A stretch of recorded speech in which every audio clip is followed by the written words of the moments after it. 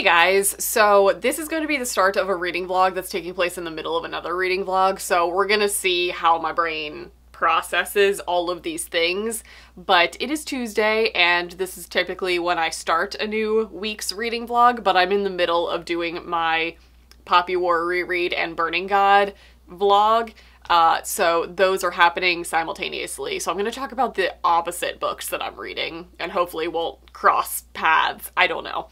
Um, but as far as book stuff goes, the book that I am reading currently is Where Dreams Descend, and it is possibly going to be my favorite book of the year. Just saying that right now. um, we are reading this with my book club, and we just finished section two, which puts us at chapter, I think 16 was where I stopped. Yeah.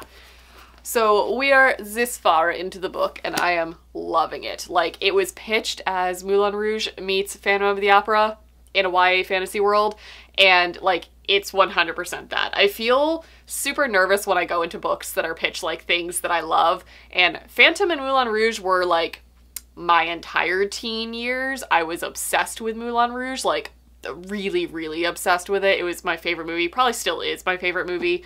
Um and this is like the perfect blend of it. Like the opening scene where she comes down on like the chandelier i was just like it is satine she is descending like the diamond that she is and it's amazing. Um so i am loving it. Every second of it it is a masterpiece. It's gonna need to do some serious damage to not be a five star book for me. So that's what i'm currently reading. I believe that i actually have footage from a vlog that I never ended uploading because I never really read anything that week. Um, but I'm gonna put it in here and it is footage of, um, ooh, this little dude and Cricket getting some fan mail. So I'll put that in here. Hey y'all. So I just got a couple packages out of the mailbox that I want to unbox on here because I'm pretty sure they are things that I did not order, which means it came from one of you guys. So I just got this out of the mailbox I don't think this is a book. So I am assuming, oh, okay, cats everywhere. I also have this package, which feels like a book. So I'm gonna start here and see where this goes. so this, oh, it's the troop. Oh, maybe I'll read this. Can you guys tell that I'm on like a super horror kick? Um, this is what a ton of people who love horror, this is what they love. Um, and I am weird about body horror. I think I prefer it because if it's gonna get a reaction out of me, that means like it's good writing. Um, but I've heard this is like the grossest thing ever, and this is like pushing my limits. I know, I think this is set like in the Canadian wilderness, like an island in Canada or something, and I think it follows a Boy Scout troop who get infected by like a parasite of some sort, which is a huge fear of mine. So I feel like this is gonna like hit its mark. So who did this come from? Please let there be a note. There's a slip, slips. This is from Adrian Wilf Wilfong. Hi Chelsea, I hope you enjoy. I always enjoy your videos and love all the content you create. Couldn't help adding a treat for the kids. Hopefully they enjoy it. So I am assuming that's what this is. And I believe you have already lured a cricket in. she has been sniffing this package. So Albus is coming down the hallway. Oh my gosh, this is so fun. So I'm assuming this is also from you, Adrian. It is, thank you. Okay, let's let's get the cat's opinions. I don't know how they feel about uh, noise-making toys because some of them are exciting, some are scary. So, oh my gosh. Cricket. We've got Willow in her little window seat here. We've got Cricket and Albus is staring at me from down the hallway. So let me get some scissors and put this how it's supposed to be. Okay, so I think this just goes on this section, I think. What do you think? Okay, here, let's adjust the cameras. What do you think? Is that exciting? What is it? Cricket?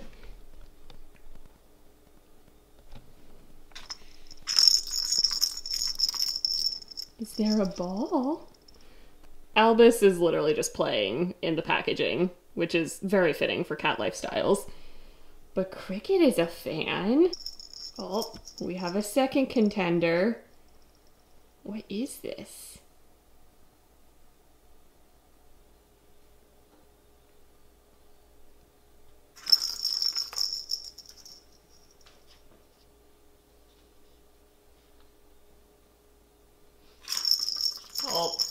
I think this is a hit for the children. We have our grumpy old lady just kind of observing over here, being the fun police, but I think it's a hit for the youngins.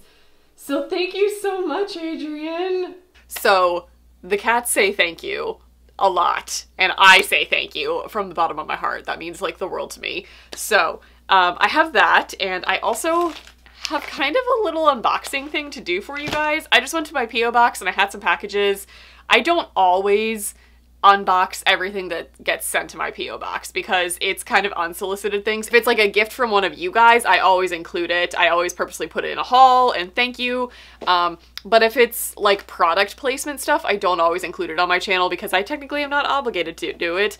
Um, but I feel like I should for this one box. So the first thing that I have is a package from Thrift Books, which I just cut open. I haven't looked at it yet, but when things come to me from thrift books, there's no option to like put a note in it, so I'm never gonna know who sent this to me unless you guys reach out to me. So I'm guessing the unbeatable squirrel girl. what? I figured this was a graphic novel based on like the size of the package and like it was bendy. What is this? Marvel Now by North Henderson, The Unbeatable Squirrel Girl, Squirrel Power. What? Uh, this looks like something. That's great. Oh my god. This artwork is hilarious too. Uh, I'm intrigued. So this is issues um, one through four. Okay. Thank you whoever sent that to me. I might read that tonight because I'm so intrigued by it. So that showed up in my P.O. box. And this did too. And this just seems like something that I should uh, open for you guys. So I did cut open and look this far. This is as far as I got in the box, and I basically read the note, and I was like, I should unbox this in a vlog.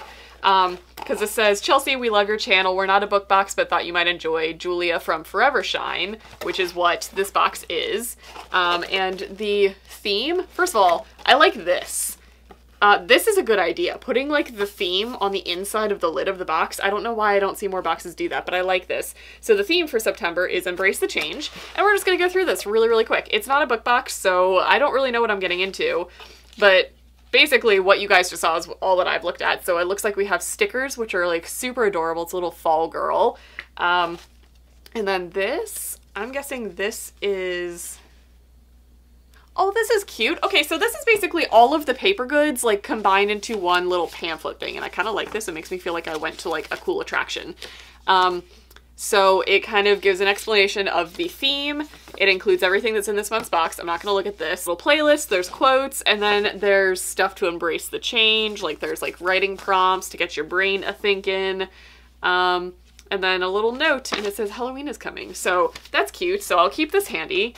We have candy. I'm a big fan of candy. Alrighty, let's... Ooh, this looks fun. This looks like a fun little fall box. Okay, let's go through. We got pumpkin spice soy wax melts. Always appreciated in my life.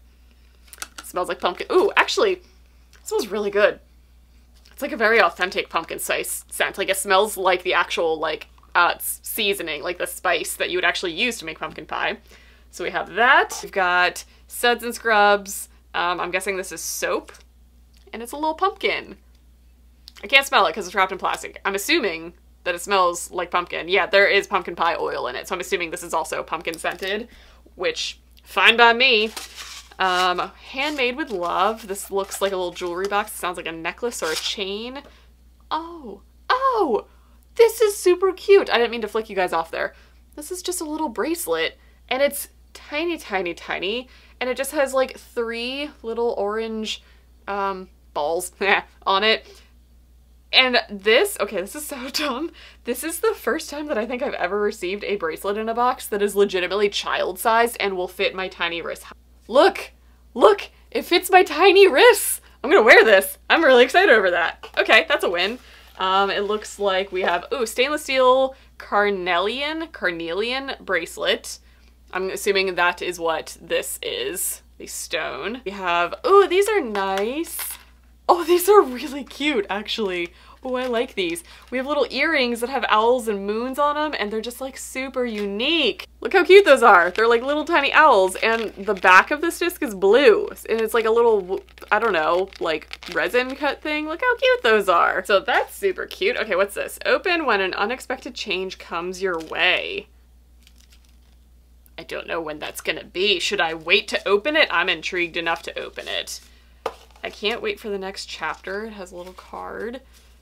And there's, oh, this is, this is interesting. Oh, this is cute. So life threw you a curveball. Okay, you know what? I'm gonna save this. It's gonna be cute. I don't know what is in the little bag that's attached to it, but I'm gonna use it because this was an unsolicited thing. So I'm gonna use this to my own abilities. I don't know what this is. There's a little square thing wrapped in here. I don't know what they are, but it, I feel three cylinders. We'll open it when an unexpected change comes my way. Okay, ooh, we got more candy. We have a September mood tracker. This is actually really cool. Um, I'm slowly getting back into bullet journaling, and this is the exact thing that you can literally just tape into your bullet journal with washi tape, and you don't have to draw one out. Brilliant. Okay, fan of that. Um, we have a card for Pandora's Collections. Don't know what that goes to yet. Um, we have, what is this? Flawless Claws. What is this? Oh, they're nails. Oh, man. Okay, how do I, what do I? Vouchers for one set of free custom gel nails from Flawless Claws. Oh, that's pretty nifty. Ooh, these will so come in handy. We got hair ties, or, I mean, some people just wear these as bracelets, but they're just elastics. Super cute. And these are from Accessories by Marie. So this is just a cute little fun, like, girly, feel better box. We have a flannel scrunchie. Heck yes. This is from Creativity Cake. And this is like a really soft, thick, like woven flannel material. And it's a scrunchie. Love it. We have, ooh, this is pretty. Is this a print? From Natalia Durheim. Oh, look at that. That's so cool. Is that an actual print? I think so.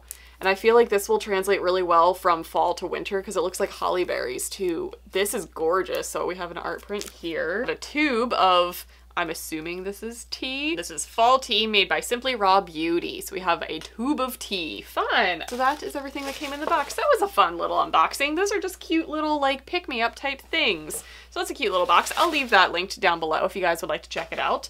Uh, this isn't like a rep thing or anything, but there you go. Okay, we're off to a long and lengthy start to this vlog.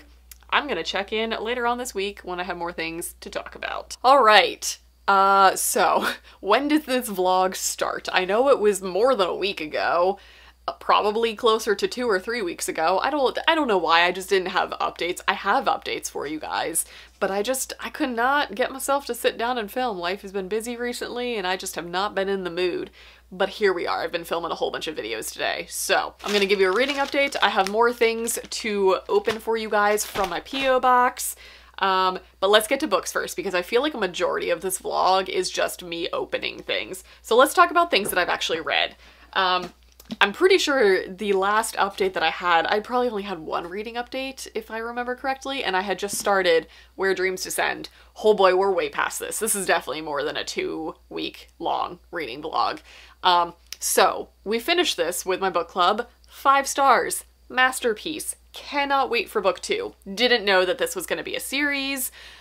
Probably should have known that going into it. But this is everything that I wanted it to be. Like, I, when I heard it's a mashup of Phantom of the Opera and Moulin Rouge in like a YA fantasy form, I was so nervous because that sounded way too good to be true. This is one of those rare occurrences that it lived up to the hype. I'm obsessed with this book. Five stars. I don't know how else to really talk about it without spoiling it. I just loved it so stinking much. Like, it was perfectly balanced between Phantom and Moulin Rouge without feeling like it was copying either of those things. And it introduced its own whole world and magic system. And I just, I have so many questions. This is one of those books where you kind of get a whole list of questions as you're reading it, and then it doesn't answer any of them, and you're just left hanging. So for those of you who haven't read this yet, just know this is book one of a series, and you get zero answers. But man, was it fun asking the questions, I guess, and not having them answered. I don't know. So, I loved this. We finished that. We also read the romance book since I last talked to you guys, and that was Bittersweet by Sarina Bowen. This is book one of the True North series, which is personally one of my favorite romance series of all times. I've read this book alone probably five or six times since I discovered it like a year ago. This series is just a really good comfort read for me, specifically going into the fall season, because it just gives you all of the like small town farm family apple cider feels that like you want at the beginning of fall. I adore this series. I've recommended it endlessly to you guys and I'm sure you guys are sick of me talking about it, but I convinced the entire group to read it this month and uh, most people really liked it. I'm a big fan of Griff, even though he's grumpy. This is kind of the series that I generally hold my small town romances like as a standard to. This is what I come back to. This was probably my sixth time reading this book and I loved it just as much. I love it so much. Is it perfect? No. Do I enjoy myself every time I read it? Yes. If you're looking for a good fall romance, this is one. Okay, I'm pulling up my Goodreads because I know I'm gonna lose track of what I've been reading because I've also been reading through, like I said, the Poppy War books and I'm on the Burning God right now, but we're not gonna talk about that. That's gonna be a completely separate vlog. So, I read Where Dreams Descend. Ooh, I've got a DNF for you guys. And Kim, I'm so sorry. My dear friend Kim, who I'm going to uh, mention a lot in upcoming videos because she's introduced me to an entire new hobby and lifestyle. Um, but one of her favorite authors is Jodi Ellen Malpas and Mal Malpez? Malpas. Mal Malpas. I have no idea. Um, this is an author that is like an OG romance author. I'm sure you guys have all seen the cover of this man or any of her other books. She is just a well well-known romance author who's been around for a very long time. And I have always wanted to read from her, specifically these books because calla lilies are my favorite flowers, so every time I see this cover, I'm like, I should pick that up at some point. But I just never have. I don't know why, there was no reason. So my friend recommended it to me because she is a huge fan of this author, of the series in general. I picked it up, I despise this book. I have learned since I've started reading romance like a couple years ago, um, I'm fairly picky with like the male protagonists in a lot of romances. They can be very damaged, they can be very broken. Um, this one had so much non-consent in it that it was something I I personally couldn't look past. I know this is a very well-loved series and I mean don't no disrespect to anybody who loves this series, I just could not look past the amount of um, lack of consent. There was just, there were so many scenes that I was just uncomfy reading. And y'all, I've read some smutty smut. Like, I, without going into too much detail, like there's very little that can turn me off of books. And this one was just, it was cringy and weird and for no reason whatsoever. Like he would just out and out lie to her there's just there's something between being just kind of like a douchey alpha male character in that type of book versus just being obnoxious for no reason. And I know there are always reasons. They always get explained in books, and this has since been explained to me. It didn't excuse it to me though. That was the issue. There were so many times that it was just red flag after red flag after red flag. And I feel like as a 30 year old person, even though someone can be very mysterious and very alpha male, um, there should still be some sort of communication. When you ask them a direct question and they lie to your face and both of you know that they are lying to you, that's a red flag that I personally can't look past. Like, why was he lying about his age? There was no legitimate reason why he wouldn't tell her how old he was. And there's just there's just a lot of issues that would have been solved so easily with communication, which is just something that just bothers me in romance. Sometimes I can look past it. This was not one of those times. I despise this book. I made it to like 60% of it before I just gave up, to be honest. I wanted so badly to like it and I felt so bad because Kim loved it so much and I just, I couldn't do it. I couldn't push through. So that was a DNF. so since I finished uh, Bittersweet, I wanted to go back to a small town romance. I have read through many of them, so it's getting to be slim pickings for me of like the very specific type of contemporary romance set in a small town that I'm looking for. Pretty much that feels like this. Um, so I've read through all of the Jamison Valley by Devney Perry, but that was it for Devney Perry for me. So I wanted to go to a lot of her backlist because almost all of her books are small town. Um, so I read Tattered and Timid, books one and two of the Lark Cove series, and uh, I'm waiting on book three. Scribd just locked my account, so I've got a while before I can get to book three. Um, these were exactly what I was looking for. They're small town feels, but they're emotional. They're fairly draining at points, like they're heartfelt. They just give me all of the feels that I was looking for. I just really like contemporary romance in that setting, and this was the exact type of book that I was looking for. So I gave both of them four stars. Um, in true Devney Perry fashion, it kind of gives you a really good, like, cozy small town feeling with, like, a romance that's, like, building, but um, you generally get both sides of the story. Like, you generally get perspectives of both the guy and the girl, and usually one of them has some sort of trauma in their past that they need to overcome. Is that the most stereotypical romance plot ever? Yes. Do I read it endlessly? Also, yes. Love it. So, I read both of those. Keep in mind, all of these romances that I was reading were in between uh, my reads of The Poppy War and The Dragon Republic and now The Burning God because Lord knows I needed a palate cleanser after those books. If you guys have read that series, they are uh, damaging and traumatizing, so I needed some romance in between. The last book that I picked up, I should have done more research. Uh, learn with me, in case you've never read Emma Scott, Emma Scott I now know is an author who is known for ripping your heart out and stomping on it. I know this now. I did not know this when I chose to listen to this while at work. Mistake number one. Um, so I should have known going into this what it was going to be, and I kind of, I knew from page one, I knew what was going to happen in this book. Did I think I was going to be emotionally prepared for it though? I did. I was not. So, um, this is a beautiful freaking book. I haven't decided what I want to rate it. I feel like I should give it five stars, but I'm going to let it sit with me. If it's going to be one of those books that is going to stay with me, it's going to be a five star read. If I start like losing track of the characters and stuff in like a couple weeks, it'll be a four star. It's up there though. I recommend it.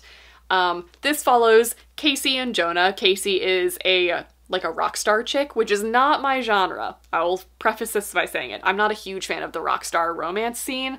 Um, but she is the lead guitarist in a new and up and coming band. Um, and she ends up getting drunk one night and crashes on the couch of her limo driver, who is Jonah, who has a heart condition. We all know where the is going, okay? I should have seen it coming. It has a lot of beautiful imagery in it, like in your head imagery, as in Jonah does a lot of glass blowing and glass art, which was a main theme in this book, hence the cover. Um, this book broke me. I haven't cried from a book like this in a very long time. It was very unattractive in a public space. Lesson learned, Emma Scott will make you cry. Um, so we read that as well. And I also didn't know this was technically like the first book of kind of a duology, so I'm working on book two as we speak. Um, I feel like it's also going to be just as damaging, and I didn't learn my lesson because I started it at work, and it started at the end of that book, which was the sad part. Okay, so that's what I've been reading. Let's get into some more things that were sent my way. This one, we cut it open, was sent to my P.O. box. Ooh, there's two in here. I see Marvel. Is this gonna be, you're seeing it first. Is this, okay, who is sending me the Squirrel Girl books? Um, uh, okay, okay, I need to start these then. Uh, in earlier in this vlog, you'll have seen me open the first volume of this. Now we have, okay, and, and these are all coming from thrift books, so they don't have a note. So I have The Unbeatable Squirrel Girl, like I'm the only squirrel in the world. Um, and then we also have Squirrel, You Really Got Me Now. In addition to the other one that I unboxed. Who is sending this to me? I have so many questions. I'm gonna read them tonight though. I'm excited. Is she gonna throw this squirrel? She has a squirrel like balled up in her fist. Is this her weapon? Okay. Okay, I'm intrigued. Also, she has the Avenger symbol on her. Is she an Avenger? What is, I mean, this is Marvel. It is a Marvel. What? What is this? I have questions. Please get in contact with me if you're the one sending those because thank you. I didn't know I needed those in my life. Okay. Next was also sent to my P.O. box. We've cut the top open, but I haven't seen it. What is it? It's yellow. I haven't looked in because this is a very tight package. Okay. This, oh wait, hold on. We might have a note. we have a note this time.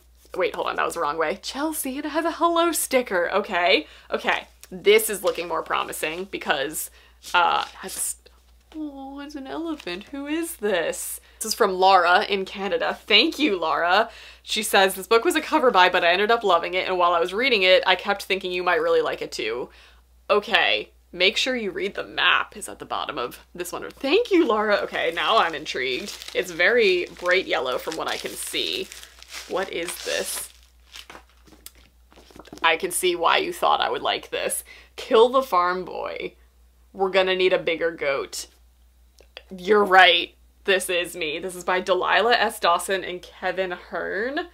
A laugh out loud, funny fusion of Monty Python esque humor and a whimsy of a Terry Pratchett's Discworld. I haven't heard of this. I need this. Oh my gosh. It's reminiscent of The Princess Bride and Shrek will have you laughing out loud until strangers begin to look at you oddly. Okay, so this sounds like it's gonna be like satirical fairy tale. Once upon a time in a faraway kingdom, a hero, the chosen one, was born. And so begins every fairy tale ever, ever told. This is not that fairy tale. There is a chosen one, but he is unlike anyone who has ever been chosen. There is a faraway kingdom, but you have never been to a magical world quite like the land of Pell. There, when a quest goes painfully awry, it's up to a talking goat, a mighty warrior who resents her chainmail bikini, thank god, an assassin with a fear of chickens, a cursed fuzzy-tailed bard, to set everything aright. But set by evils and the Dark Lord Toby, this intrepid company journeys towards the most peculiar happily ever after there ever once upon a timed. This sounds so good. Oh my god. You're right. This is something that I needed in my life. Oh my goodness. I'm so excited to read this. Thank you so much, Laura. Ugh, I'm sticking your note in this book. I am so excited to read this. This sounds fantastic. Thank you so much. Okay. And the last one is another thrift books thing, which means not gonna come with a note at all. This is, oh, you reached out to me though. Okay, this is off of my wish list. This is Comics Will Break Your Heart by Faith Erin Hicks. Um, and this is a YA contemporary. Oh my god, it's a library edition. I haven't I haven't opened a library book in so long. It sounds so good with the plastic and it also it has a card catalog in it. Okay. This is just giving me like all the serotonin right now. Feeling like a library bound plastic wrapped book is making me feel good. Okay, the book itself. This is a YA contemporary, I believe, following a girl whose grandfather wrote a smash hit comic series, Tomorrow Men, um, and he sold his rights to his co-creator a long time ago, which means her family got nothing from this franchise that got super, super popular. And then it follows her falling in love with the grandson of the other creator who got the rights. So it sounds great. It sounds nerdy which is like, okay, this is my like go-to comfort read in YA these days. It's YA contemporary with nerdy things in it. That's why this was on my wish list. So thank you so much. This actually came by way of somebody who sent me a message on Instagram saying they got me something off my wish list and it was coming my way. So this is from Barb. Thank you so much, Barb. And thank you for reaching out to me and letting me know that this is from you. I'm assuming this is from you. This is the only thing I can think of off of my wish list that I've received recently, unless it hasn't come yet, in which case I don't know who I'm thanking. I'm assuming this is you though, Barb. If that's the case, then thank you. Um, so those are the books that I have acquired since the last time I talked to you guys. These are the books that I've read. That is my update for this vlog. Hopefully I can just wrap this one up and finally start a new one fresh. Anyway, that's going to be it. I hope you guys are doing well and I'll see you guys in my next one.